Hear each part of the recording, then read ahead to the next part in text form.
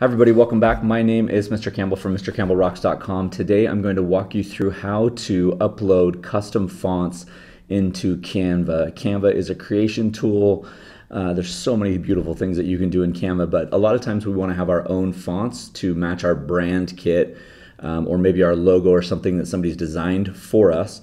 Um, as a new school, we had somebody from our district create a, a new logo, and I wanted to use some of that same font in some of our Instagram posts and some of those other things.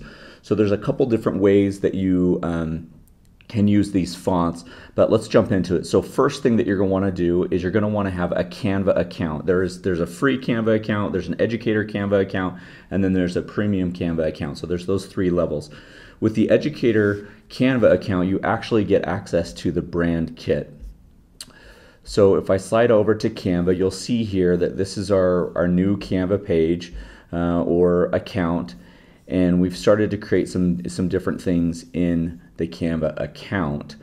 Um, when you come to your brand fonts, you'll see right down here that you actually have the ability to upload a font from the, the web or your, from your computer. So there's a couple things that you'll need to do. You'll actually need to get that font either sent to you or um, download that file.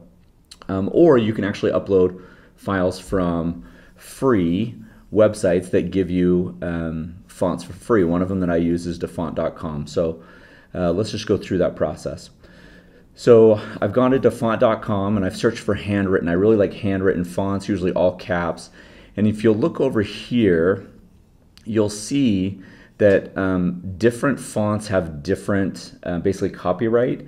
Is this is free for personal use, free for personal use. This is 100% free. You can use it for commercial or advertising or anything like that.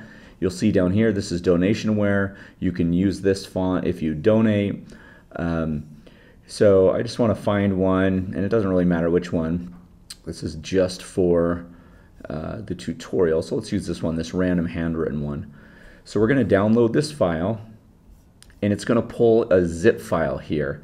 Sometimes fonts have two or three or four, even sometimes 15. So they'll have italics, they'll have bold, they'll have underlined maybe sometimes. So when we click on this zip file, it's going to open up this file right here, random handwritten. And you'll see that I have one TFF file. So we can go back. We can go back to our Canva account, click on upload font,